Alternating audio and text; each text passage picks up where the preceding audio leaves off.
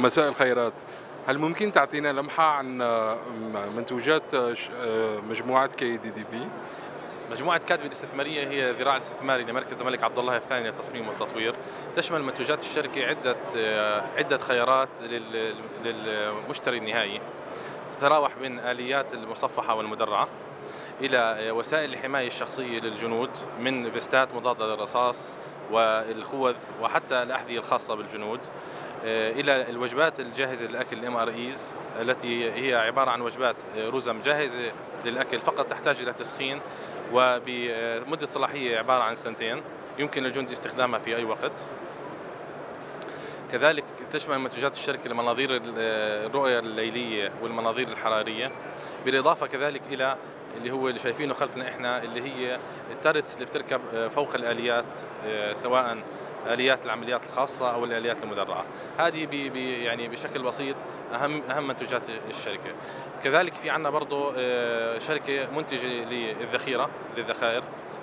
مصنع بلش إنتاج ذخائر متعددة لتس... لتغطية الاحتياجات المحلية وحتى أيضا التصدير للدول الخارجية. حاليا منتجات الشركة إحنا وصلت عنا تصديرها لأكثر من 35 دولة في العالم. آه، طبعا كلها من الدول اللي هي تحت مظلة آه، يعني دول موافق عليها للتصدير. آه، ومنتوجاتنا زي ما حكيت لحضرتك هي أغلبها منتوجات دفاعية لوسائل الحمايه الشخصيه.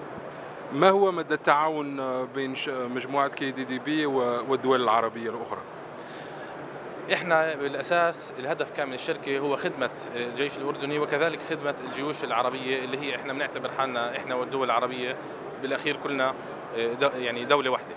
وخدمتنا عبارة عن خدمة لهم ووجودنا أساسا برضه كمان يلبي احتياجات الدول العربية.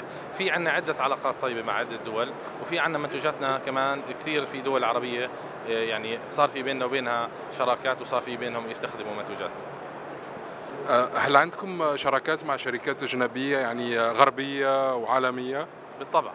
إحنا كثير اعتمدنا على موضوع إنه يصير عندنا شراكات أجنبية لنقل الخبرات من الخارج إلى الداخل. وشيء أساسي كان بالشراكات اللي هو عبارة عن نقل التكنولوجيا وتدريب المهندسين المحليين على هذا الشيء على هذا الشيء. لذلك معظم آه، أو تقريبا جميع منتجاتنا هي عبارة عن منتجات مصممة محليا ومنتجة محليا في الأردن. فهي أيدي أردنية هي اللي اشتغلت على هذه المنتجات.